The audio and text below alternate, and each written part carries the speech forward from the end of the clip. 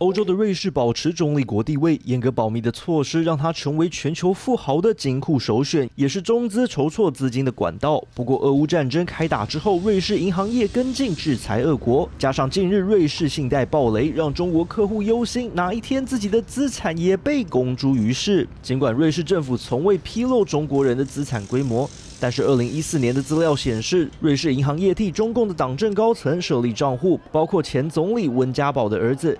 至少两万名中国和香港富豪拥有离岸公司。涉及中共的红二代，还有五名政治局常委家属，在英属维京群岛和库克群岛等地拥有离岸公司。网络更传出有一百个中国人在瑞士存了一点一二兆美元，大约新台币三十四兆。瑞士有大约七千五百名俄罗斯富豪存了四百六十一亿瑞士法郎，大约新台币十五点三兆。开战之后，部分的资产遭到冻结，加上近日瑞士信贷暴雷，让政府书写五百亿瑞士法郎。中国权贵频繁向瑞。瑞士银行高层询问，开始害怕自己的存款可能不再安全。